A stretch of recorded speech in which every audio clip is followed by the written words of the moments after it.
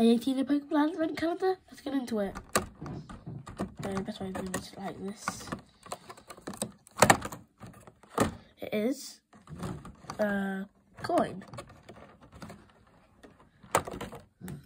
Uh, Daybird coin. That's cool. Price will be on screen. But that's basically it for this video. Thank you for watching and see you in the next one.